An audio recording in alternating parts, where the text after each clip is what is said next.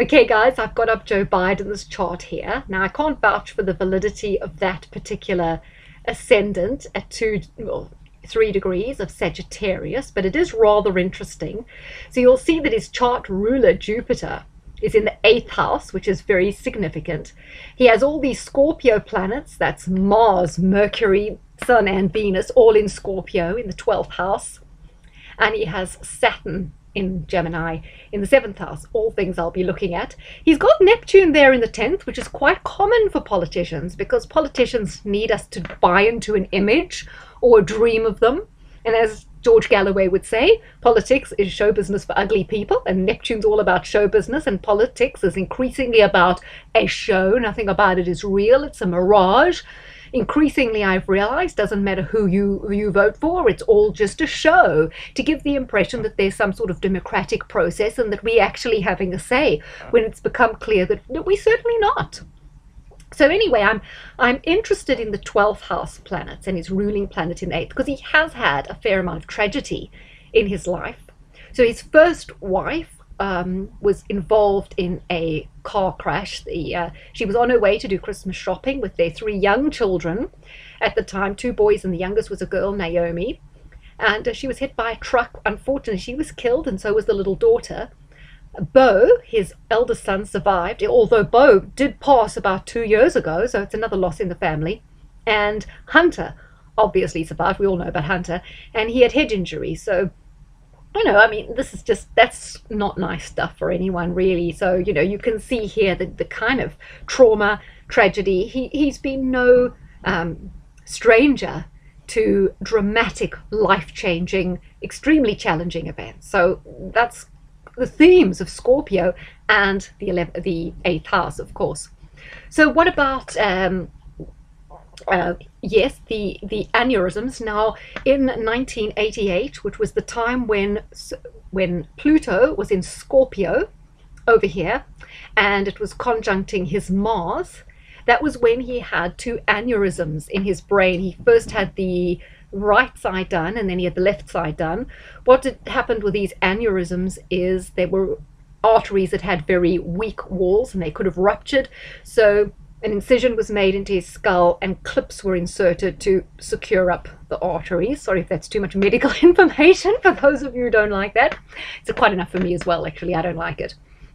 So that was extremely serious. Now, when you read on his Wikipedia page, they don't even mention it. And when you read articles from the New York Times at the time, the old articles, they kind of downplay it like it was nothing. Although I've actually heard a clip where he's talking and he says, Oh, I, I said to the doctor, um, what are my chances? And the doctor said, you mean of fatality or morbidity?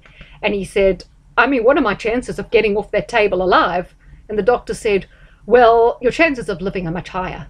So that's exactly how he recounts the conversation. So it seems from that conversation, the doctors weren't hopeful that he would get off the table. He might live, but he wouldn't really live in a particularly compos mentis state. Although we know he has, he's continued to have a political career. Although the reason for looking at his chart was wondering how long he's going to hang in here this year. So we should uh, possibly just have a quick glimpse at his some of his his past, which I find rather interesting. His name's Joseph Robinette Biden, and he was born November 20, oh, Scorpio, as we say, in Scranton, Pennsylvania, to a Catholic family. Now it says here his father had been wealthy, but he had a lot of financial setbacks around the time Biden was born. Now we see that Biden has got his moon in Taurus, which does indicate a wealthy family. Look, moon in Taurus, it indicates a kind of wealthy background. So I wonder that even though his father had hard times, if there was some sort of wealthy influence in some family member that helped him along the way, because in America, you're really going to get this far in politics without some sort of wealth behind you. So it says his father had to kind of go on to become a used car salesman, but he did actually become very successful and they had a middle class kind of upbringing. Interestingly, it goes on to talk about he went to school, Archmere Academy in Claymont. He was a standout halfback in baseball, and he uh, was that, yeah, he played baseball, and the halfback was in American football, I think, sorry. And it says here, though a poor student, he was class president, right? So he was a poor student. However, that doesn't stop him going on to university. He did he maybe go on a kind of sports scholarship thing? Because if you're such a poor student, you don't usually go on to study at university. I don't know. Maybe. So mm, it says he was an unexceptional student, but he did earn a Bachelor of Arts degree in 1965 with a double major in history and political science and a minor in English. He had a stutter, but that improved since his early 20s, right? Okay, so it also goes on to say, when it talks here about his legal career, that he uh, earned um, a Juris Doctor from Syracuse University College of Law and he was admitted to the Delaware Bar. It also mentions somewhere here, sorry, it's come out so bleeding small, but it, men- it mentions somewhere here that he was kind of 75 out of 80 something students. So he was way down again. So again, an academic underperformer. Although from this, you can see he's the kind of high school ball playing guy. He's a bit sporty. Team's popular if he was made class president. So the theme is that he wasn't particularly um, academically proficient in any way, but he's popular. Like, there you go, Sun conjunct Venus in Scorpio. He's got a certain charm and must have been fairly charismatic as a young person, although I, kind of find that hard to see now. But definitely you can see there, there is a kind of magnetism to his personality. And look, Sagittarius rising, he's sporty, enjoys the outdoors, enjoys a bit, enjoys, enjoys a bit of ball. So he's got kind of athleticness to him. And with Mars in Scorpio, is a very determined person. So, for all his lack of having much ability mentally, he certainly had a lot of a uh, lot of kind of determination and drive. But I do feel that looking here in his eighth house and seeing Jupiter, that's a benefactor, and Pluto, which I recall, I think Hillary also had Pluto in her eighth, and I know Nigel Farage had a very strong eighth house. So that seems to indicate the eighth house is other people's money. So I'm thinking here this means some sort of influential backer. Maybe he was involved with the Masons. Maybe his father was involved with the Freemasons. I'm definitely getting the strong hint of someone in the background encouraging him, making him sure he got his start in the legal profession as a prosecutor. And then, as we know, from 47 years, he's been in politics, right? So he was sort of groomed to have a political role. And despite being far less talented and charismatic as the Bill Clintons and the Biden and the, and the Obamas of the world, after three attempts, he's president.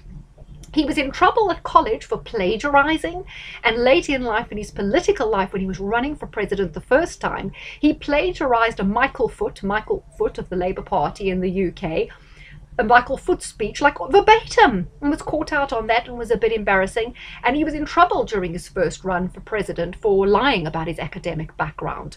So this has been a thorn in his side, that academic background like I say, even like you know, you got the Bushes, who seemed Bush, young Bush came across as a bit of a dope occasionally, but he'd been to Yale, he had his pilot's license, spoke Spanish. His father had quite a distinguished career in the CIA and whatever. So all the other American presidents have been fairly hard hitting, you know. They had kind of displayed a lot more ability and academic ability Bill Clinton being a Rhodes Scholar. It seems as if Biden's an awfully unusual choice for, for president, given all this. Yeah, it, it does. I mean, come on, the Democrat have got a lot of more highly qualified people, but he's obviously meant to be there for a reason, a short reason. Right now, I think it's Pelosi that's calling all the shots. So let's just jump ahead here and have a look. Remember, last time Mars was triggered was when he was having his brain aneurysm fixed and was facing a life and death struggle because the prognosis from the doctor was not good. But in typical Scorpio fashion, he did pull through with flying colors, despite what he was told. Look at July, the ephemeris for 2001. We've got Mars, 12 degrees Leo. So it's squaring his Mars here in Scorpio in the 12th, ruling the 5th. Here we've got Saturn, 12 degrees of Aquarius, right? So also from here, squaring that Mars. We've got Uranus, 13 degrees of Taurus, and once again, it's opposing Mars in the 12th house. And uh, Neptune and Jupiter is con- uh, uh, Pluto is conjunct his Jupiter, ruling the ascendant in the eighth the house of of demise or so I'm just wondering and thinking we should really look closely at this early July period to see if that's not the period where there's some event whereby he's sidelined for Kamala, although I still think it's going to be Pelosi who's actually running things. So we've got this Jupiter ruling the ascendant Pluto, the planet of major change, especially as Jupiter is in the eighth house. It's a very strong planet here, indicating some sort of, um, maybe not sudden or surprising, but some sort of dramatic turnabout of events.